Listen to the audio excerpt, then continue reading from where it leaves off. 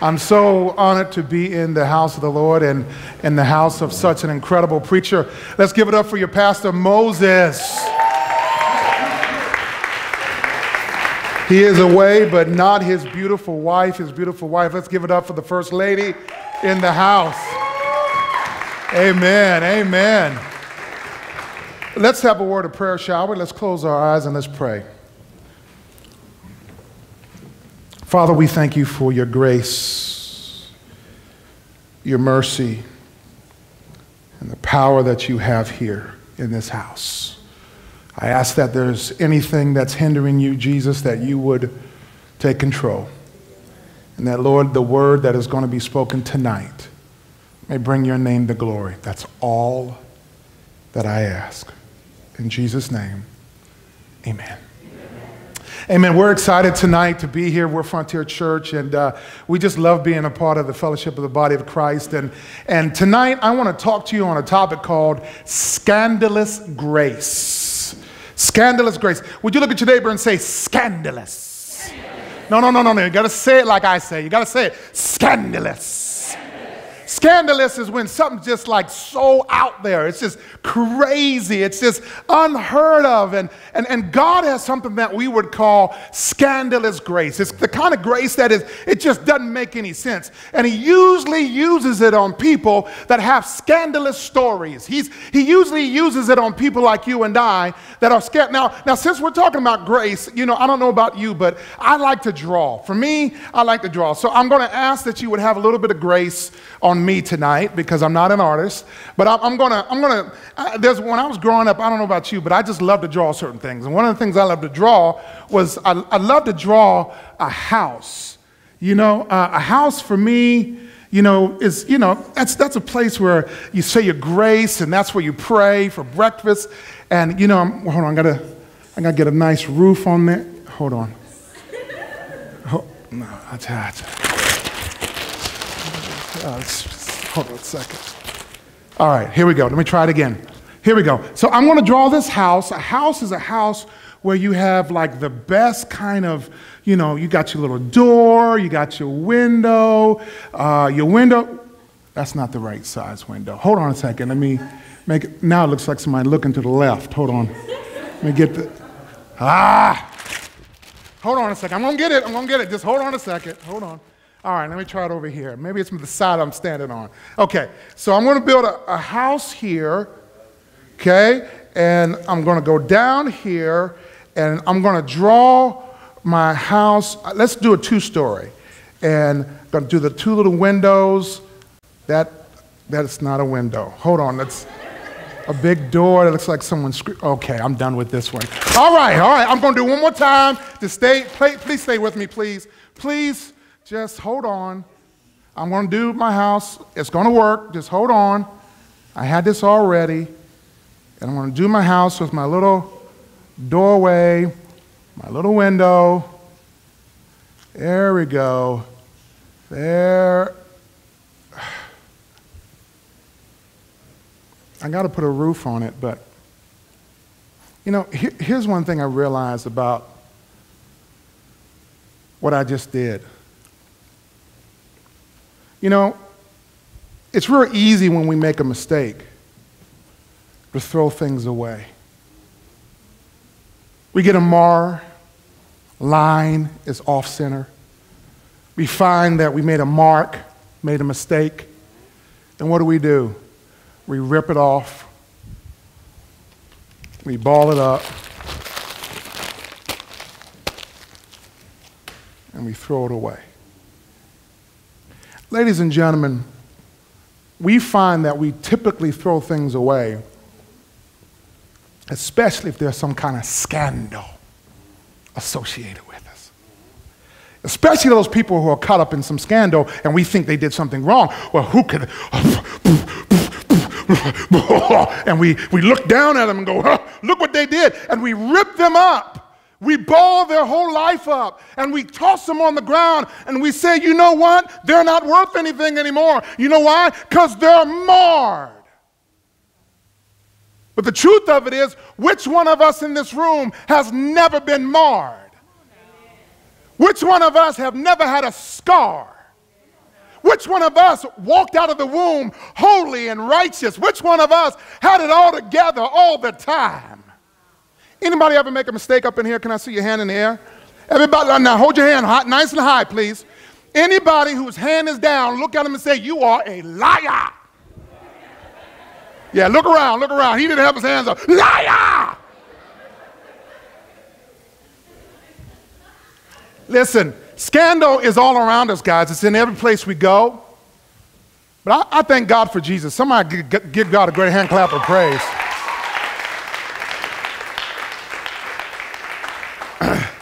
You know, in preparing for this message, I, I was reflecting on a, a, a story that came out about a big scandal. Uh, it involved the CEO of one of the, man, biggest corporations you're going to ever imagine. I won't name any names right now, but uh, the CEO was looking for a president of the company, somebody who could take it over. He found the perfect dude. Dude was sharp. Everybody say sharp. He had it together. I mean, this dude, he, he, he had it all. He was smart. He, he, he knew how to handle business. He was a great manager. He had everything together. I mean, the dude was sharp. But not only that, you know how you get one guy who's just really, really sharp? And it wasn't just him. How many know behind every great man is a great woman? Somebody say amen. Amen. He, had, he not only was a sharp executive, but he had a bomb of a wife. Somebody say amen. amen. That's all right. I mean, you know, dude had it all together. He had it all together. He had the wife, he had the job, he had it all together. But the CEO said, listen, I'm going to turn it all over, the, the whole company over to you, but, but I need you to just run it a certain way. And the man and the woman got together. They had everything they needed. They had an excellent retirement package. He had job security, job security like nobody's business. He was, he was that good. It's a true story. The husband and wife got together and they decided what they were going to do is this they were going to embezzle from the company. And they did. They embezzled from the company, and you know, things in secret usually come out. That's what scandal's all about. And they got caught. Well, what did the CEO do? CEO had every right to destroy that man, destroy him. Because, I mean, he gave him everything, and still the guy did all of this. He had the right to destroy the guy. But let me tell you what the CEO decided to do. He, he admired the man so much, he decided that because I recruited you, I'm going to set you up for life. Now, you can't work here right now, but I'm going to set up your entire family. Here's what that CEO did. He not only set him up for life, but he wrote in his will that their family would inherit the business after his death. Scandalous. Ladies and gentlemen, the company I'm talking about and the CEO I'm talking about is God Himself and Adam and Eve. He was in the garden, great retirement plan. The dude was the best executive on the planet, had excellent job security, wasn't nobody else to take his job. And yet, what did he do? He embezzled off of the tree. Now, the CEO had every right to take his paper rip it off, ball it up, and throw it away and start over. He had every right to do it. But why did God not get rid of Adam and Eve? Why did he not say, I'm going to focus on your problems and not the person? Ladies and gentlemen, I want to point out to you that God's grace is absolutely scandalous. Why is that? I want you to write this down if you can.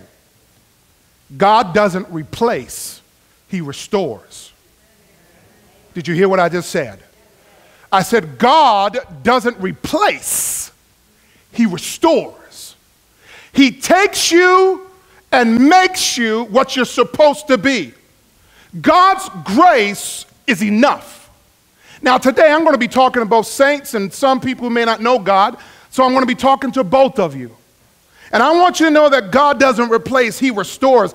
In the Bible, the word grace in the New Testament is spoken over 127 times. 48 of those times are in the book of Romans. Grace is a big deal in the New Testament.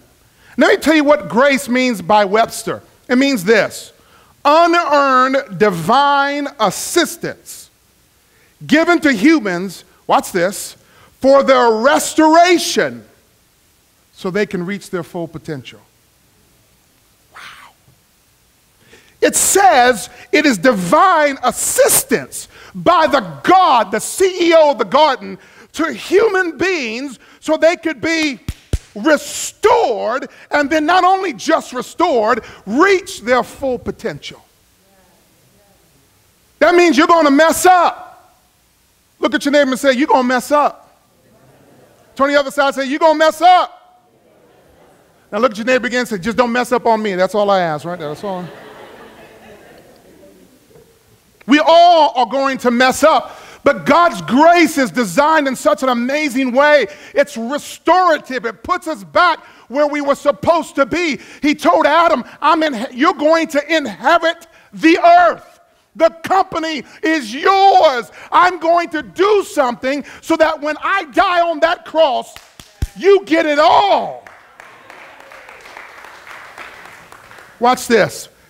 The Bible calls grace charis. It's the Greek word charis. It means goodwill, loving kindness, and even favor. It, it's, it's, it's so different than the world's concept of grace. The world's concept of grace is this karma. You get what you deserve, right?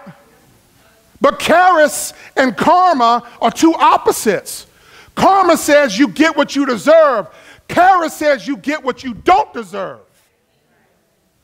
God is not like this world where he treats people bad because they make mistakes or looks down on them. In fact, he goes after people who makes mistakes. He will leave all these holy righteous people and go after one person who's gone astray because he's the God of charis.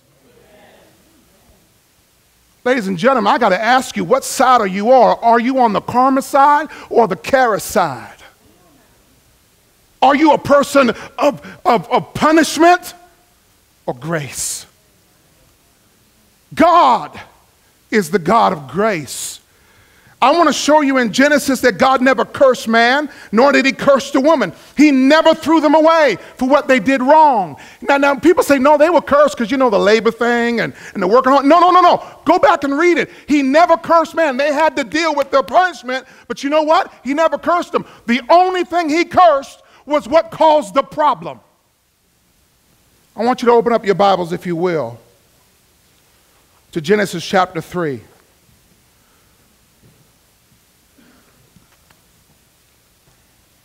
True grace doesn't hate the person, it hates the problem. A person who's smart in grace understands the difference. We don't hate what people do. I mean, we don't hate people. We hate what people do sometimes. I want to show you in Genesis, God didn't curse the people, He cursed the problem. We'll find that in Genesis chapter 3 in the New Living Translation. It says, Then God said to the serpent, Because you, you, you did this, because you have done all of this, the serpent did this to mankind. He says, You are cursed above all animals, domestic and wild. You will crawl on your belly, groveling in the dust as long as you live. Do you think God was mad at what they did to, the, to mankind? I think he was a little bit upset. And look what it says in verse 15. It says, And I will cause, watch this, hostility between you and the woman, and between your offspring and her offspring. But I need you to pay attention to the next word. He will strike your head. It didn't say they, said he, singular. What he was talking about here, ladies and gentlemen, is that there will come a man who would stomp the head of the enemy. His name was Jesus. Even in the garden, he had a retirement plan of grace. I want to show you what it goes on. It says, He will strike your head and you will strike his heel.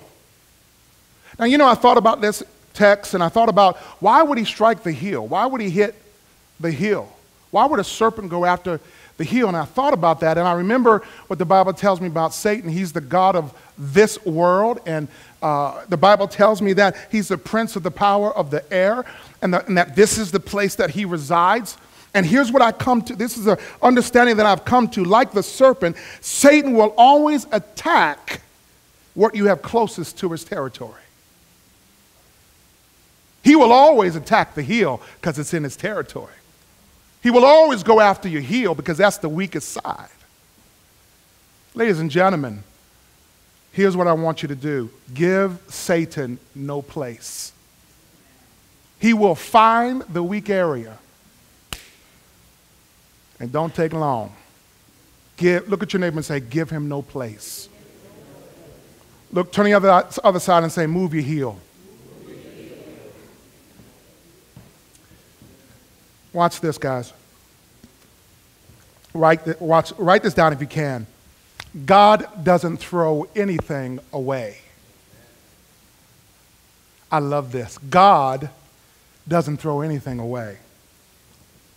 Here's what he did. Instead of throwing man away, he gave him a promise. He says, I'm going to send somebody to help you. And we find in Genesis 3:15, he sent the promise and it's fulfilled in John chapter 3 verse 16. Anybody know what that verse is? For God so loved uh-huh, that so that everyone believes in him will not perish but have Look at verse, verse 17, most of us forget about. What does 17 say? Watch this. God sent his son into the world, not to judge the world, but to save the world through him. Grace doesn't judge you. Can I say that again? Grace doesn't judge you. Let me explain to a person of grace, we don't point a finger at people, we point a finger towards the way. We don't point at people, we point towards the way. Would you turn in your Bibles to Romans chapter 14, verse 10? Paul begins to talk about how we should treat each other, how we should act one to another, how we should behave towards each other. And most of us think, well, you know, if someone sinned, I just, you, I just, I just got to get them out of my sight. I don't, I can't deal with sinners. Well, how is the church ever going to grow? Anybody ever a sinner up in here? Anybody? Come on now, somebody. We in church or we at the mall? Anybody ever been a sinner up in here? Anybody was a good one? Come on now. Every one of us came from some place. Every one of us once was a sinner. What's the song say? Amazing grace, how sweet the sound that I, but was. That's all of us. Let me show you what Romans says. Romans chapter 14, verse 10. It says, So why do you condemn? He's talking to church people. It's church people. We got to ask ourselves are we doing this? I hope not. It says, so why do we condemn another believer? Why do you look down on another believer? Remember, we all stand before the judgment seat of God. We're all going to go there. Verse 11 For the scriptures say, As surely as I live, says the Lord, every knee will and every tongue will and give praise to God. Everybody got to see him one day. So if you so bad, listen, I'm going to tell you something. Anybody ride motorcycles up in here?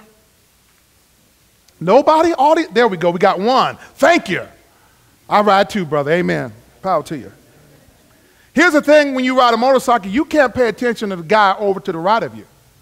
Because as long as you're driving down that road and you over here looking, guess what you're going to do?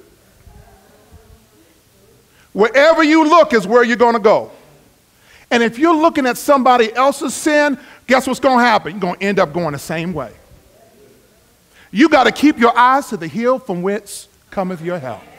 My eyes are set to the Lord. I'm not looking at you. I'm not looking at your faults. I'm looking at his solution. Look what Paul says. He goes on to say this in Romans chapter 14, verse 12. Yes, each one of us will give a personal account towards God. And here's the solution, guys. Verse 13. So, I love how he says it. It's so relaxed. So let's stop condemning each other. Decide instead to live in such a way that you will not cause another believer to stumble at all. Here's what the Apostle Paul is saying to you and I I'm not asking you to ignore what's wrong, I'm asking you to live in such a way you don't cause somebody to stumble. If you can focus on getting your life together, you will not be a stumbling block for somebody else.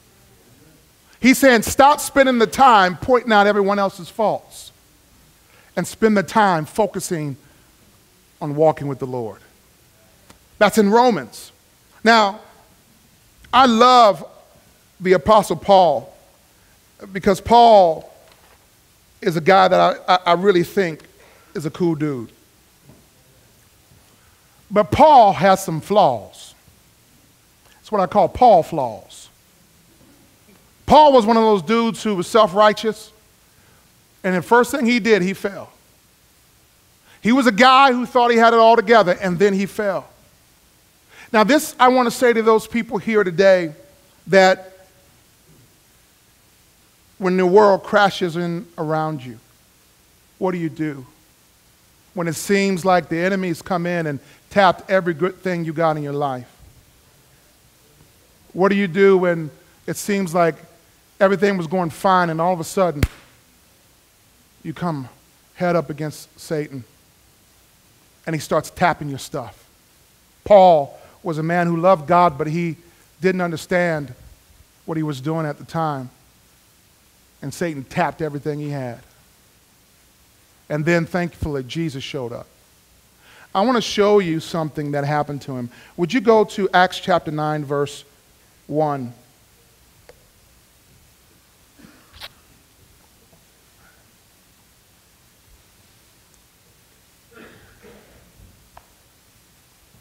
Acts chapter 9, verse 1. And it says, Meanwhile, I love that. It's like that Batman term. Meanwhile, at the Batcave. Meanwhile, some of y'all don't know what I'm talking about. Saul was uttering threats with every breath. Oh my goodness. This dude was self righteous. This dude was pointing out everybody's problems. Look what these Jews are doing. Look what these guys are doing. I, man, these are scumbags. Amen, somebody. Oh, I should have got more than that. Amen, somebody. Amen. These are a bunch of scumbags. And God, I'm going to take care of them. Look what happens. He was uttering threats with every breath and was eager to kill the Lord's followers. Sometimes you can point out somebody and you think they're the bad guy and didn't know they already got it right with God. And you point your finger at one of the Lord's followers. Whoops! So he went to the high priest, and, and, and we move on to verse 4. He was walking along the ground. He had gone after the Christians, and then Jesus shows up. And he fell to the ground and heard a voice saying to him, Saul, Saul, why are you persecuting me? Hold on a second. I'm, I'm confused. Go back to verse 1. Meanwhile, Saul was uttering threats with every breath and was eager to kill the Lord's followers. Okay, verse 4. Saul, Saul, why are you persecuting me? No, I'm confused. Paul was eager to kill the Lord's followers, followers. Saul, Saul, why are you persecuting me? I'm confused. Is he going after the followers or is he going after the Lord? The answer is very clear. You may think you're going after a person, but you're tapping the Lord. When a person gets right with God, you can't tell them they're wrong. Here's what Jesus said to Saul. He said, Saul, Saul, why are you coming after me? Here's what I love this next verse. Watch verse 5. It says, Who are you, Lord? Saul asked. And the voice replied, I am Jesus, the one you are persecuting. I love the King James Version. I love that one in verse 5. It says, And he said, Who art you, Lord? And the Lord said, I am Jesus, whom thou persecutest. It is hard for you to kick against the pricks. What in the world does that mean? What it means is this. In those days, there were farmers, and when an ox wouldn't move, the, the farmer would take out a stick and he would hit the ox, try to keep it moving. And the ox would kick. And when he would kick, the sticks, the thorns on the prick would stick deeper into the ox. And here's what he's saying He says, Listen, you know, stop kicking, it's just going to make it harder for yourself. How many know that sometimes God uses a stick so that we don't get stuck? God sometimes will cause things to happen to us so that we go get stuck in our position. And he says to Saul, Why are you kicking against me? Here's where everything changed. And I, I need you to see this. Paul, the Bible tells us that Paul's eyes, God knocked him down. Scales came over his eyes. He was taken into a city. He was blind, so blind. And a man by the name of Ananias came, prayed for him. Scales fell off of his eyes. But I think he spent too long in that position of judgment of other people because I think that condition continued in his life. Well, why do you say that, Steve? I'm going to tell you why. I think that Paul had an issue with his eyes. People say that Paul had an issue that affected his flesh, and no one says, Well, what is it? I think it was his eyes. I want you to take a look at something. Go to Galatians 6 and 11. Paul Every letter he wrote had somebody else have to write it for him. And when Paul had to write, he had to write a certain way. I don't know if you've ever seen this. Paul write, wrote in Galatians 6 and 11 how he had to write. Everybody else wrote normal, but not Paul. Verse 11 says in Galatians chapter 6 Notice what large letters I use as I write these closing words in my own handwriting. He had to write big letters when he wrote. Not only that, I want you to go down. People were in Galatia were uh, aware of his issues with his eyes. I want you to go to Galatians uh, chapter 4, verse 13. They were aware of his issues with his eyes. He, he was judging so long, too long. In verse 13 of chapter 4, it says, Surely you remember that I was sick when I first brought you the good news. When I first preached the gospel, I was sick. Verse 14, But even though my condition tempted you to reject me, something was wrong and you could see it, and, and it almost was so visible, you almost rejected me. You did not despise me nor turn me away. No, you took me in and cared for me as though I were an angel from God or even Christ himself. He's being treated like he didn't treat other people. Look at verse 15. This is why I think it was his eyes. Look at verse 15. Where is that joyful and grateful spirit you felt then? I am sure you would have taken out your own eyes and given them to me if it had been possible.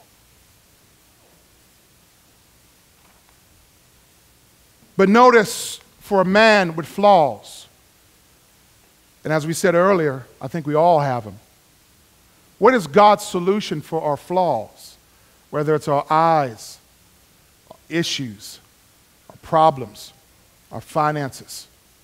What's the answer when we hit that wall, the enemy has deceived us, or we got caught up in something we shouldn't have. And is God going to tear us off the page, ball us up, throw us away? No. Let me show you in the Bible what God's going to do with you.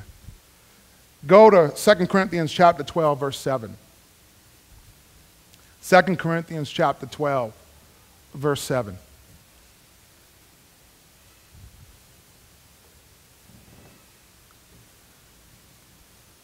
You all right? All right. Somebody can help you. Second Corinthians chapter 12, verse 7. Watch this. Here's what Paul said concerning this thorn in his flesh.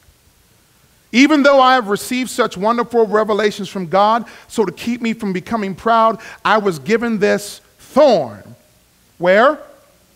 In my flesh. A messenger from Satan to torment me and keep me from becoming proud. Look at verse 8. Three different times I begged the Lord to take it away. Sometimes we have to go through things in life and we wish they never happened.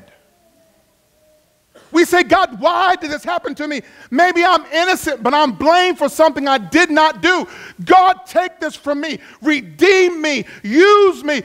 God, redeem my name. And God says, No. I'm not. Because I'm making inside of you a heart of compassion for people who are wronged. I can't take it away. Here's what he says in the verse. I love it. He says, Three different times I begged the Lord to take it away. And verse 9, and each time Jesus said, My grace is all you need. My power works best in weakness. Scandalous. God is not going to pull you out, He's going to come where you are. Yea, though I walk through the valley of the shadow of death, I will fear no. He didn't pull me out of the valley. Thy rod and thy staff, they comfort me. Not out of the valley, in the valley. My grace is sufficient for you. I'm closing in this verse. It says, My power works best in weakness. So here's what's Paul's attitude. So now I'm glad to boast about my weakness. I'm not ashamed of my testimony so that the power of Christ can work. Use your testimony, use what happened to you, and don't be ashamed. Some of you have been raped, molested, robbed, broken, broken homes, falsely accused. Use your testimony. Quit hiding it. His grace is sufficient for you. Why? Because the Bible tells me why. So that the power of Christ can work through me. Two words to each of you to the weak in the room and to the flawed. I want to say to you don't be ashamed of your past. It's your story God will use. And it's in that place He will show up the strongest. This is why Paul says in the next verse, verse 10, that's why I take pleasure in my weakness and in the insults. Oh, talk about me if you want to. And in hardships, and in persecutions, and in troubles that I suffer for Christ. For when I am weak, then I am strong. Ladies and gentlemen, if you've been falsely accused or people keep holding your sin over your head, be encouraged. Wear it like a badge and say, But Jesus forgave me. And ain't nothing you can do about it. Ha ha! Come on, somebody put your hands together for that one. Jesus forgave me. What you got to say? Now, to the saints and the super spiritual. I go to Galatians 6 and 1 as my closing passage. Galatians 6 and 1 to the saints and to the super spiritual. Galatians 6 and 1 says this to you and I Dear brothers and sisters, if another brother or believer is overcome by some sin, you who are godly should gently and humbly help that person back onto the right path. And be careful not to fall into the same temptation. Come on, spiritual people. If you claim to be godly, but you're pointing a finger, you ain't godly. But if you're truly godly, you go to the one everyone's pointing fingers at and bring them back. Look at verse 2. Share each other's burdens, and in this way obey the law of Christ. And finally, verse 3 if you, this is to the spiritual, the super spiritual, if you think you are too important to help someone, you are only fooling yourself. You are not that important. I love it. Paul didn't play no games. You ain't that, you ain't all that now. So then, ladies and gentlemen, when I began this message, I made a mistake in my house. It's a little crooked. And many of us, our homes are, have mistakes. We have issues in our lives. We may be a house for the Lord. We may have mars, scars, issues. What does God do? Does He tear off the page of our life and throw us away? Nah. Here's what I've learned the Lord will always do He would take our lives, He will do what I think is amazing things. He would take our life and engraft us into His. And what other people will throw away, God turns to His glory and makes us and brings us to the cross.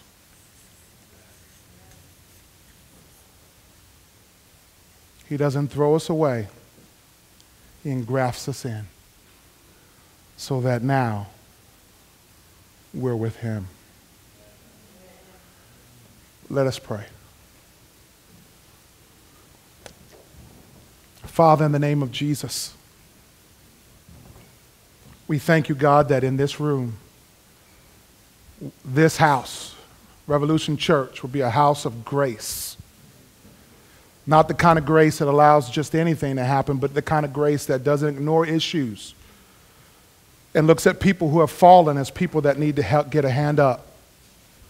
People who know that the people of our city, whether they have money or they don't, everyone is important to God, whether they're marred or otherwise. Lord, let the scandalous grace that saved our lives flow in the hearts of every believer that never again may it be said, Look at them.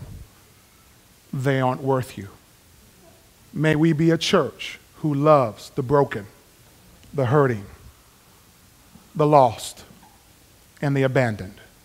For that is who you died for on Calvary's cross. In Jesus' name, amen. Let's give God a great hand clap of praise.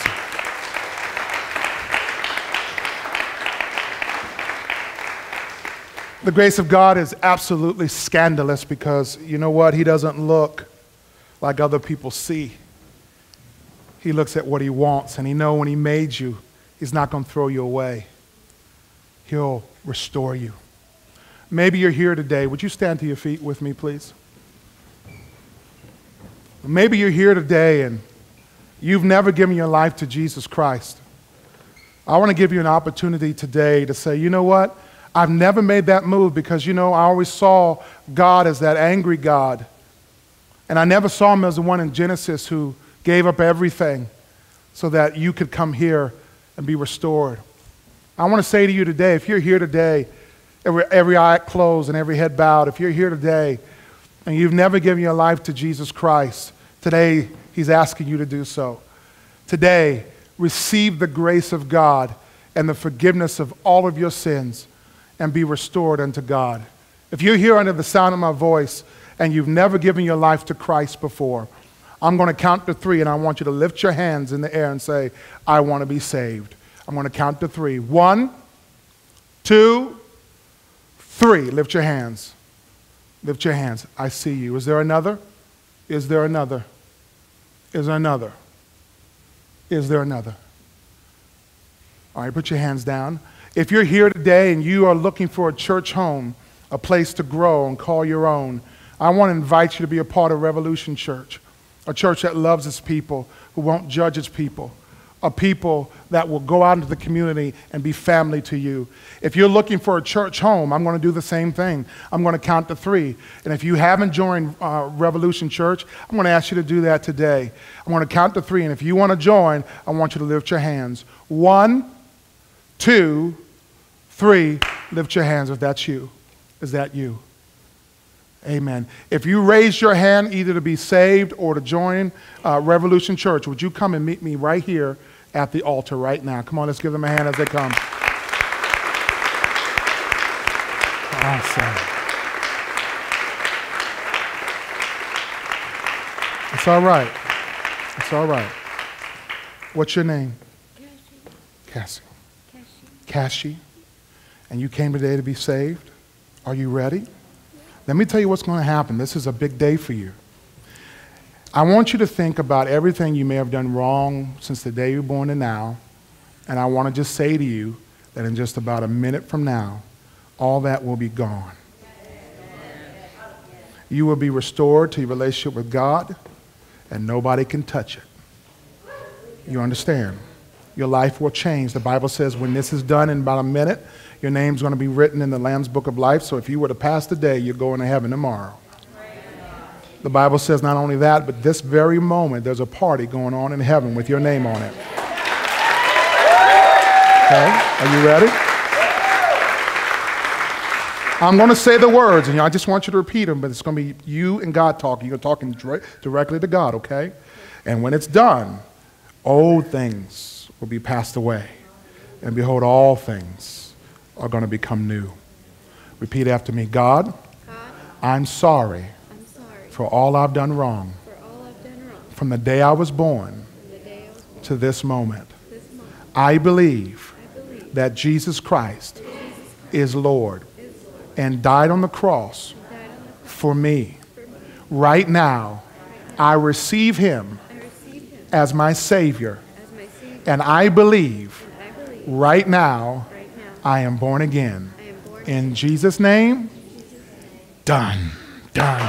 Come on, put your hands together. Cassie, that's it. You hear me? You're like a brand new baby right now. All right, stretch your hands this way, please. I'm going to pray for you, okay? Father, in the name of Jesus, I pray for Cassie and I say, God, let your hand rest. Wow.